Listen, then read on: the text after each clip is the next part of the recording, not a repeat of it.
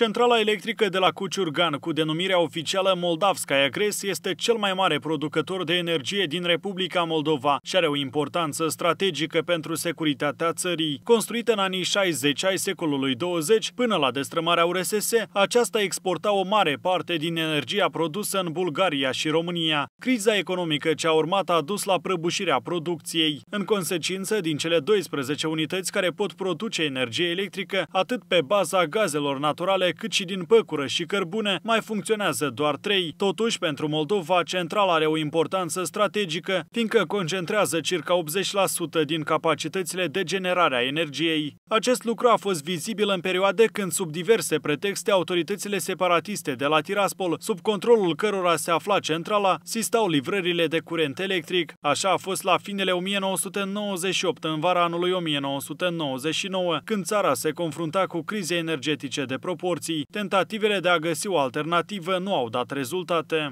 În anul 2003, autoritățile separatiste au privatizat centrala, proprietar ajungând firma belgiană Sanguidon, controlată de afaceriști și funcționari ruși. Aceștia au încercat să dicteze regulile de joc, cerând în 2004 un preț mai mare la energie. În replică, Republica Moldova a renunțat pentru patru ani la energia de la Cuciurgan, cumpărând din Ucraina cea mai mare parte din necesar. În 2005, proprietarii Sanguidon au fost forțați de serviciile secrete din Rusia să vândă centrala unor subsidiare ale grupului rusesc românesc Interrao ES. Ultimul reușește în 2007 să obțină dreptul de a exporta în România, iar în 2009 să îi înlăture pe ucraineni din schema de livrare a energiei. În ultimii 10 ani, Moldova cumpără cea mai mare parte din necesarul de curent de la centrala de la Cuciurgan, dar nu renunță complet și la importul din Ucraina. Periodic, centrala este implicată și în scandaluri. Așa a fost în 2015-2017,